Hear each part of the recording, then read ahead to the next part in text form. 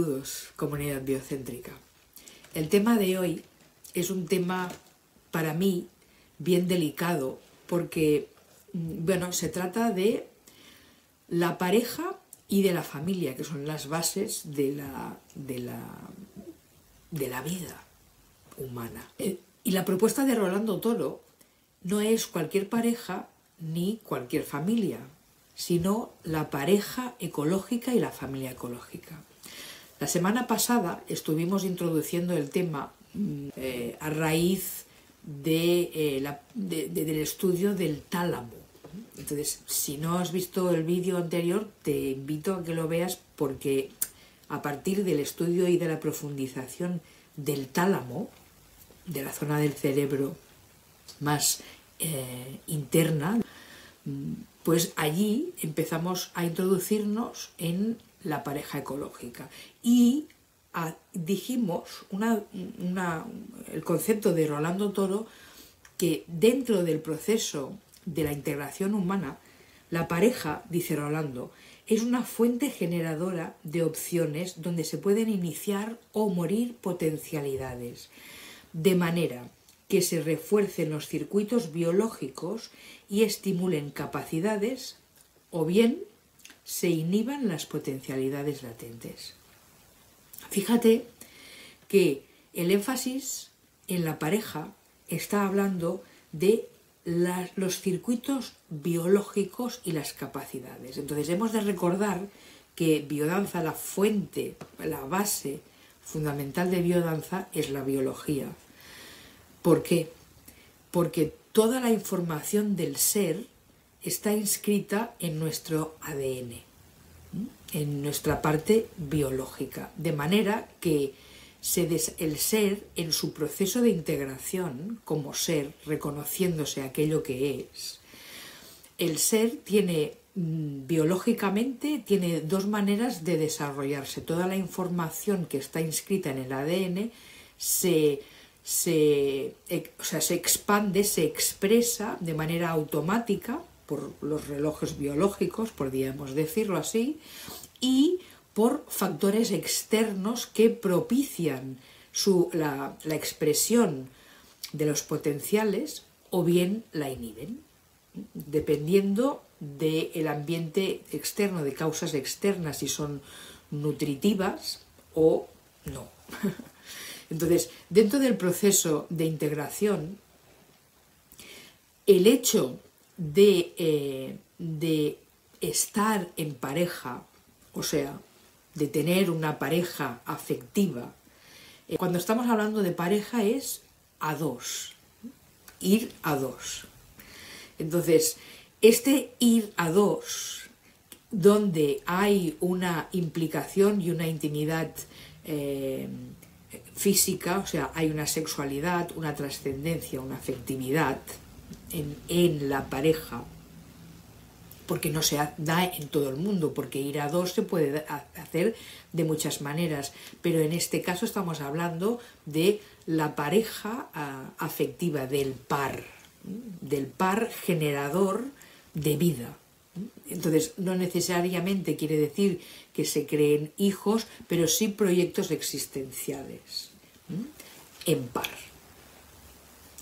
Hombre-mujer y o eh, energía masculina y energía femenina para, de, para incluir a todo el mundo incluir a todo el mundo con todas sus expresiones. Aunque cuando Rolando habla de la pareja ecológica, está hablando de femenino y de masculino. Hoy día hemos de entender este, este hombre y esta mujer también no solo desde el aspecto biológico, que es fundamental porque nuestros cuerpos están hechos de una manera concreta para generar vida, pero todas las parejas no necesariamente han de ser de hombre y mujer, por supuesto. Entonces, esa pareja ecológica está hablando desde este campo amplio.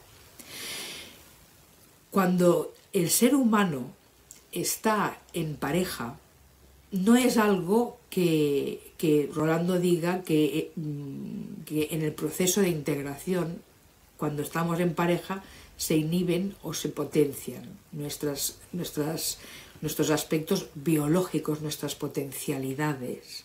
No es casual que lo diga, ya que en la mayoría de las culturas ancestrales eh, y en las iniciaciones espirituales, uno de los requisitos es estar en pareja.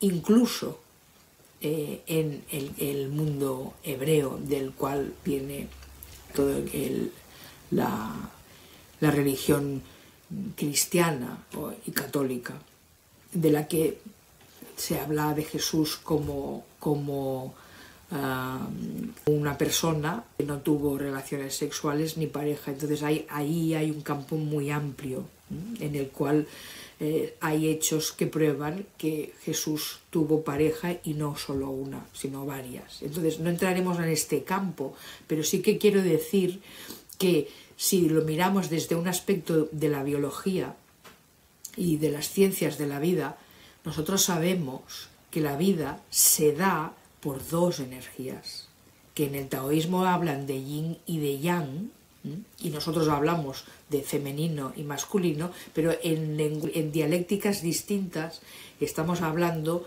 de energía positiva y energía negativa, de estamos hablando de energía gravitacional y energía expansiva, o sea, centrífugo y expansivo, en fin. Entonces, son dos energías. Y esas dos energías son complementarias, opuestas y complementarias, de tal manera que eh, son las que generan la vida.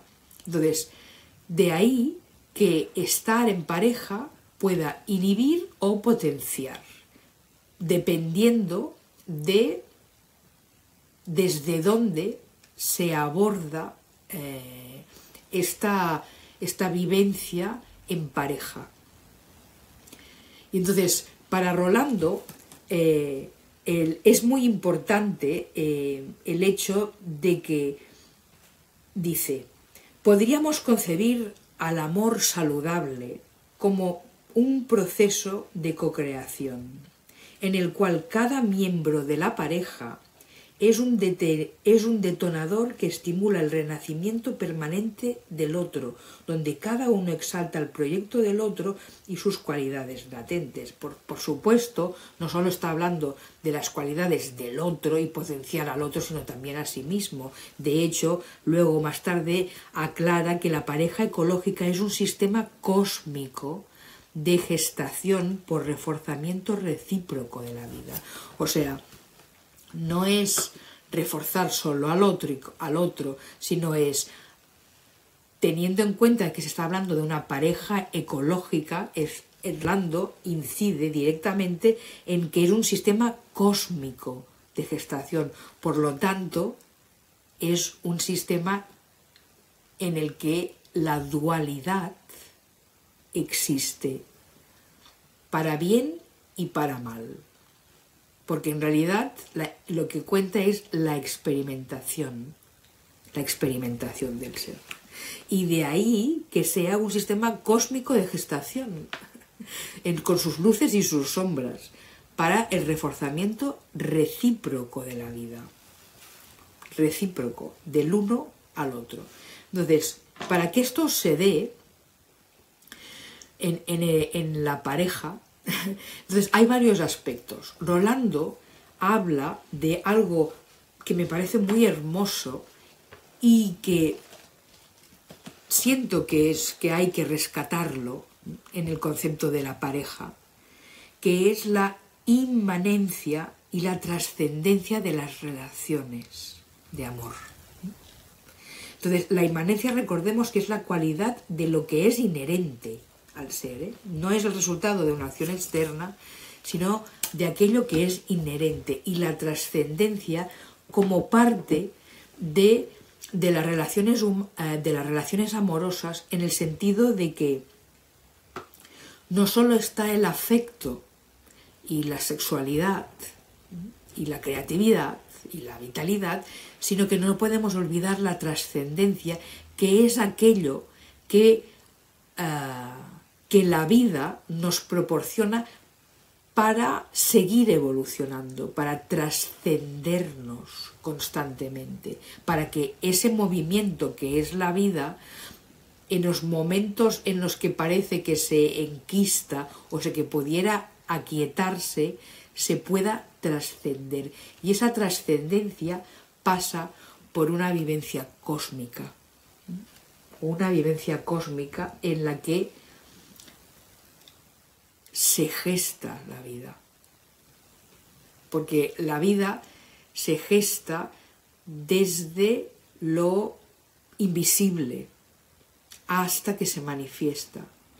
Por tanto, todo el proceso de vivir en pareja de estas dos energías complementarias pasa, hablando de la pareja ecológica, pasa por no inhibir la trascendencia, la vivencia cósmica, introducirla en la pareja, en el individuo y por supuesto y en, en la pareja como proyecto existencial, para ir a la par de la vida. Entonces, este para ir a la par en la vida, Rolando entiende que mm, hay que revisar la masculinidad y hay que revisar la feminidad también. Porque los referentes masculinos y los referentes femeninos, no hablando ya de género, sino hablando de la energía, necesitamos revisarlos y ponerlos de acuerdo con la vida, no con la cultura, no con con lo que hemos aprendido que es la masculinidad o que es lo femenino desde las culturas dominantes, sino incluyendo esa parte trascendente y esa parte inmanente del ser que está en la biología, pero desde la biología, tal como la tenemos entendida en este tiempo, podríamos decir eh, que son partes, porque en la biología, como en todas las ciencias en la actualidad, bueno, todo está eh, segregado. O sea, el riñón es el riñón, se, estudia como un riñón, pero todo, o sea, la conectividad de la vida, que es eh, con lo que hablamos en la semana pasada, por ejemplo, cuando hablábamos del tálamo, esa la conectividad de la vida que nos permite entender que no hay nada separado. Hemos de entender esa biología como eso, que no hay nada separado. Por lo tanto, separar la trascendencia de una vivencia es, ¿cómo, lo diría esto? Es como, es como, es como llevarla a, a un caos inminente del que no va a poder salir sin la trascendencia, sin una vivencia trascendente. Y no te hablo, ya no te estoy hablando de, de religión, ni de, ni de adorar a nadie, ni, de, ni siquiera de cultos. Estamos hablando de una vivencia interna que nos permita entendernos y vivenciarnos como seres personales y seres colectivos, como seres humanos y seres cósmicos. Y entonces, y no digo una cosa y después otra, sino simultáneamente. Y esta es la gran paradoja en la cual hemos de, hemos de aprender a vivir, porque la vida es así. Entonces, si la vida es en esas dos fuerzas, eh, eh, yin, yang, eléctrico, magnético, en esos pares luz, oscuridad, la pareja también. Entonces, eso no implica que uno tenga que tener un rol y el otro tenga que tener un rol. O sea, de hecho, sí, siguiendo los principios de la energía, la energía está constantemente cambiando. De hecho, eh, todo aquello que es eléctrico y magnético se complementa entre sí de manera que va mutando la energía de más a menos, de positivo a negativo, quiero decir. El yin y el yang cambia nunca se es solo yin y solo yang, sino que va cambiando. Y, esa es, esa es la propuesta de la pareja ecológica. Y de ahí que, que tengamos que revisar aquello que consideramos las masculinidades y aquello que consideramos como las feminidades. Pero no solo eso, sino que nos cabe revisar la, la familia en sí mismo. Porque la familia tiene una carga cultural tremenda. En el tiempo contemporáneo, en el posmoderno, pues hay muchas teorías en, los que la en las que la familia, en, el campo de la psicología, se tiende a referenciar como un nicho, o sea, como un lugar donde eh, se generan la mayoría de los traumas, de los conflictos del ser humano que luego arrastra y repite en su vida. Entonces, Rolando, eh, cuando habla de la familia ecológica, hace una revisión de algunos autores. Rage, entonces habla de Rage, habla de un tal Bern, utilizando el proceso de reparentalización como un importante elemento terapéutico. Después habla también, bueno, habla de, diferentes eh, autores eh, en los que dicen que la familia se gesta eh, en la familia se gesta la génesis de la esquizofrenia, por ejemplo. Entonces, bueno, eh, entonces Rolando dice que eh, en todo este conjunto de ideas mm, en las que se, se revisa la familia, Rolando dice concretamente que vamos a proponer una hipótesis antropológica ante este concepto de familia, que no debería confundirse con los prejuicios tradicionales sobre la importancia de la familia como cédula fundamental de la sociedad. A mi modo de ver, dice Rolando, la comunidad familiar es, con todos sus defectos entre todas las comunidades, la más saludable, por ser la más orgánica y por desarrollarse como un nicho ecológico natural. Justamente por todos los riesgos, carencias y patologías de cualquier nicho ecológico. Cualquier otra forma de comunidad resulta una especie de trasplante a una estructura de grupo artificial e inorgánica. El problema no es la eliminación de la familia como institución para ser reemplazada por comunidades culturales, subculturales, filosóficas o religiosas. El problema debe ser planteado dentro de un agente de, dentro el problema debe ser planteado dentro de una nueva visión de la familia y que cada uno de sus miembros es un agente de desarrollo de la totalidad, por lo tanto es respetado, protegido, cuidado y al mismo tiempo posee las máximas posibilidades de desarrollo, espontaneidad y libertad. Entonces, el lugar debe pensarse seriamente como un útero mayor, un nicho ecológico que crea y fomenta vida. Por tanto, es importante enriquecer afectivamente el hogar.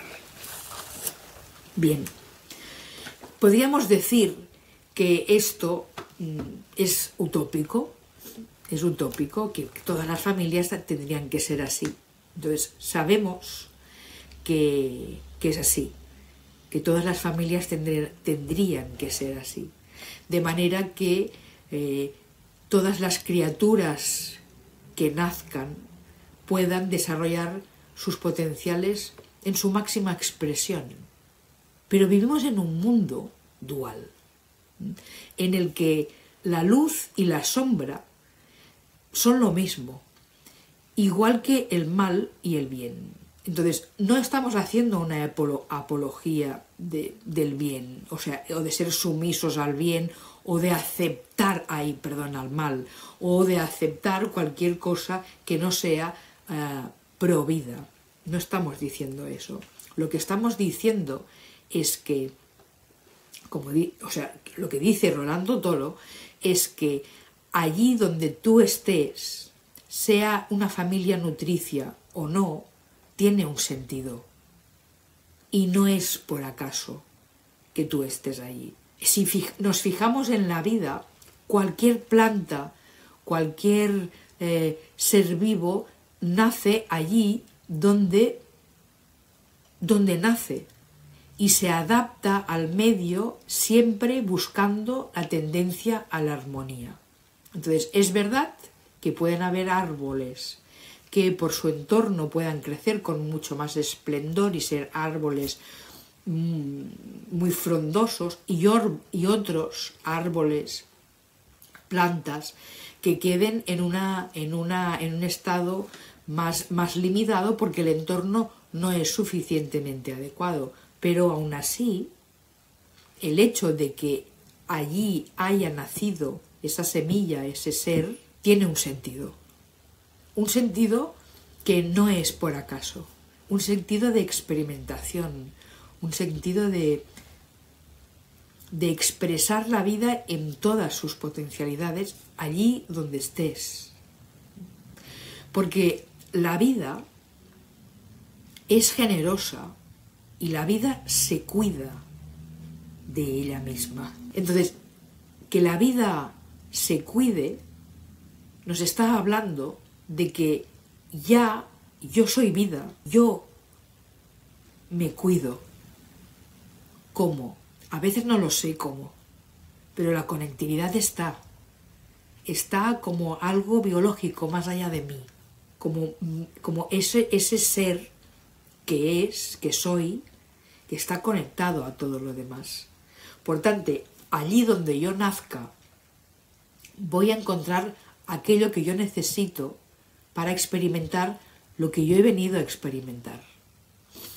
Con esto no estamos diciendo de que eh, las personas que sufren hambre y pobreza, guerras, que, que no es nuestro caso aún o en este momento, no es nuestro caso, pero sí que hay mucha miseria y muchas desgracias, muchas maneras de vivir que parece que sean inhumanas. Entonces, no estamos diciendo que, bueno, que se toleren, por supuesto que no estamos diciendo esto. Lo que estamos diciendo es que todo tiene un sentido y que en el mundo que hoy conocemos, que es totalmente conectivo, podemos darnos cuenta de estas realidades y hacer, hacer para que esa conectividad de la vida se dé, se dé de manera de generar más vida. Entonces, la familia, que es el tema que nos ocupa hoy, la familia es ese lugar en el que deberíamos generar la suficiente nutrición, el suficiente abono afectivo, vital, creador, creativo, y trascendente, para que el ser se desarrolle en todas sus potencialidades. Entonces, cuando Rolando habla de la familia ecológica, e, e, él está viendo la vida sin fronteras. Por lo tanto, si no hay fronteras, la cultura tampoco ha de ser una frontera. De ahí que revisemos el concepto de masculinidad, de feminidad y de familia, porque dependiendo de, de, la cultura en la que tú te encuentres, estos tres conceptos van a ser muy distintos, muy distintos. Entonces, ¿cuál es el bueno? Todo, absolutamente todos. De cada uno vamos a encontrar cosas que nos sirven y cosas que no. Cosas que generan más vida y otras que la destruyen. Entonces, se trata de eso. Se trata de que usemos en este tiempo en el que estamos viviendo la tecnología, que nos, que nos acerca a lugares del mundo impensables desde una pantalla, y nos mueve internamente para repensarnos la vida. Y no solo repensarnos, repensárnosla, sino que a partir de ahí generar acciones transformadoras, porque si no, no tiene sentido quedarnos en la teoría. sino es acciones transformadoras. Entonces, la familia ecológica, igual que la pareja ecológica, tiene un... Eh, no, no, solo es una propuesta teórica o utópica. Puede que lo sientas así, pero te recuerdo que las utopías son las que hacen el cambio, son las que generan los cambios. Y cuando Rolando hablaba de la pareja ecológica y la familia ecológica, su base experiencial sería la que fuera, pero él tuvo muchas mujeres, muchos hijos y una, o sea, el concepto de familia realmente fue algo que él fue renovando renovando por las diferentes culturas de las que bebía y por sus propias experiencias y sus procesos propios de integración. Varias mujeres de Rolando juntas, danzando, trabajando, dedicándose a la biodanza, eh, colaborando juntas, hijos, nietos. Bueno, está hablando de que no solo es teoría, entonces, que son cosas, que, hay cosas para, para, mejorar, por supuesto, por supuesto, por eso estamos aquí, ¿no? Para mejorar. Este tema es un tema realmente mmm, muy profundo, es un tema muy profundo, que vale, que, que vale la pena desarrollarlo. Entonces, no voy a hacer un, más vídeos al respecto de esto porque lo que sí que siento es que sería bien interesante que este tema fuera un tema en el que se pudiera hablar en comunidad. Entonces, como otros, por supuesto. Entonces, me he propuesto, a partir de, del estímulo de una, de una colega mm, facilitadora de biodanza, Laura Rosas, me he propuesto eh, hacer los, los jueves, quizás no todos, pero sí, probablemente, eh, lives, que no he hecho, que yo, o sea, sí que me han invitado a algún live, pero yo, por ejemplo, no, no he hecho ninguno. Entonces, para mí también, bueno, es, es, un, es una manera también de, de experimentarme haciendo lives. Y entonces, esto, temas como este, como la familia ecológica, como creo que son interesantes para, para hablarlos, para, para generar eh, debates y, y, seguir, y seguir, mmm, seguir creando el conocimiento.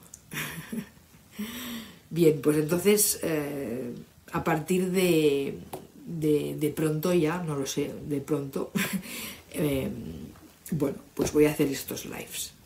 Muy bien, pues espero que te haya sido inspirador esta, este, este vídeo y que, y, que, y que si puedes te inscribas, te, te suscribas al canal, porque así el logaritmo, pues como que el algoritmo, perdón, el algoritmo, porque así el algoritmo, ya sabes, eh, difunde a más personas, para que llegue a más personas. Muy bien, pues muchas gracias por haber llegado hasta aquí y como siempre, amor y servicio.